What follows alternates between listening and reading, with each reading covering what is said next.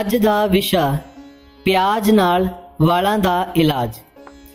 ਪਿਆਜ਼ ਆਮ ਕਰਕੇ ਖਾਣੇ ਵਿੱਚ ਇਸਤੇਮਾਲ ਹੁੰਦਾ ਹੈ, ਪਰੰਤੂ ਇਸ ਦੇ ਬਹੁਤ ਫਾਇਦੇ ਹਨ। ਪਿਆਜ਼ ਵਾਲਾਂ ਲਈ ਸਭ ਤੋਂ ਉੱਤਮ ਮੰਨਿਆ ਜਾਂਦਾ ਹੈ।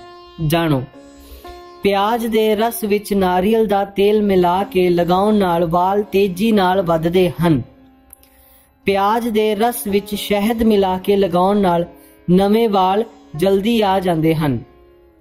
ਪਿਆਜ਼ ਦੇ ਰਸ ਵਿੱਚ ਨਿੰਬੂ ਮਿਲਾ ਕੇ ਲਗਾਉਣ ਨਾਲ ਸਿਰ ਸਾਫ਼ ਅਤੇ ਵਾਲ ਝੜਨੇ ਬੰਦ ਹੋ ਜਾਂਦੇ ਹਨ। ਵੀਡੀਓ ਵੇਖਣ ਦੇ ਲਈ ਧੰਨਵਾਦ। ਚੈਨਲ ਨੂੰ ਸਬਸਕ੍ਰਾਈਬ ਜ਼ਰੂਰ ਕਰੋ।